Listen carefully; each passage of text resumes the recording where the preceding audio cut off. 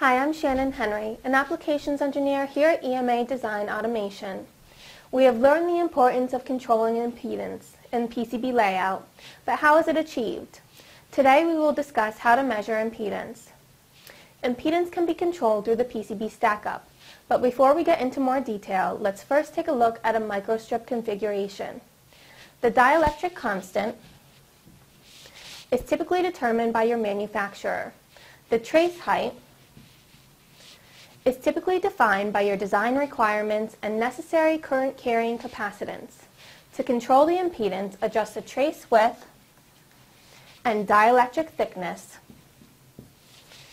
until the correct value is obtained. To complete the calculation, you can use the following formula for a microstrip configuration. Now let's take a look at a strip line configuration. Just like the microstrip, the dielectric constant and trace height are predetermined.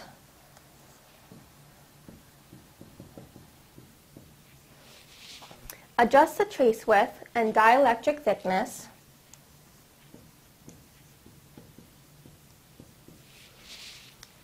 to obtain the correct impedance by using the following strip line impedance formula.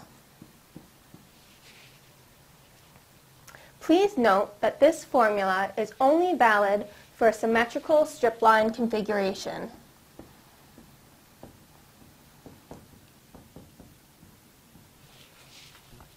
Calculating correct impedance by trial and error can be very time consuming. Many different impedance calculators are available to assist you in your design. Here are some examples of microstrip and strip line impedance calculators, which can be found at saturnpcb.com.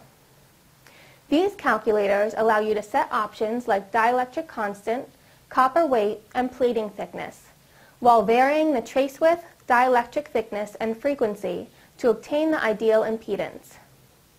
Perform these calculations by hand or use one of the many impedance calculators to control the impedance in your design and improve signal quality. Whatever approach you take, designing for impedance control can be tedious. Here are a few do's and don'ts to minimize errors and delays in your design process.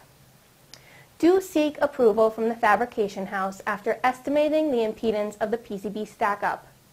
Leave enough room for the supplier to adjust the trace width, dielectric thickness, and dielectric constant. Do include all impedance information in the PCB fabrication drawing.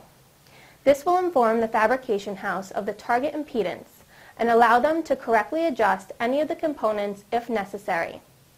Don't allow the supplier to adjust the copper thickness, as this could affect the current carrying capacity of power traces on the same layer.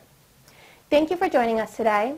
To learn more about impedance and other topics, check out some of our previous Whiteboard Wednesday sessions from the PCB design experts here at EMA Design Automation.